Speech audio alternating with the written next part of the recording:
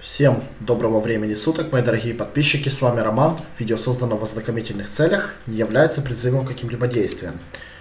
Э, были небольшие, так сказать, дела, был очень занят, э, сейчас работы очень много, поэтому не получалось. Э, так, по Alpina Trade спрашивают у меня, что да и как, что по выплатам, платит ли проект, как, как идет дальнейшее развитие, какие там планы.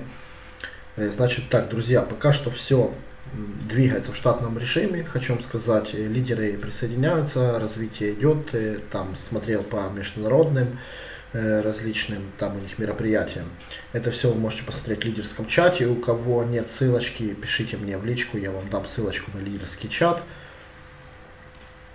Это что касается лидерского чата. Что касается выплат, подпишитесь на мой новостной телеграм-канал. Там будет все новости, все по выплатам, все в телеграм-канале.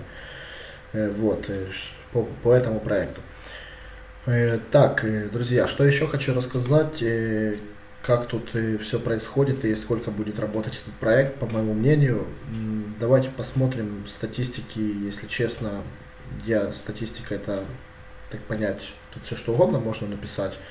Но администрация лично обещала то, что сделает этот проект прям таким вот, как был там Финику когда-то, то, что хочет показать что сейчас на рынке делается. Рынок уже, конечно, не то, что раньше, но тем не менее администрация очень старается и пообещали они так, то, что до следующего лета это минимум будут работать. Как будет на самом деле, честно, я не могу сказать, но я вижу то, что развитие началось достаточно хорошо, хорошо они вышли на рынок, они сначала работали так, в таком партизанском режиме, дальше вышли на рынок, закупили рекламу и это уже очень даже неплохо.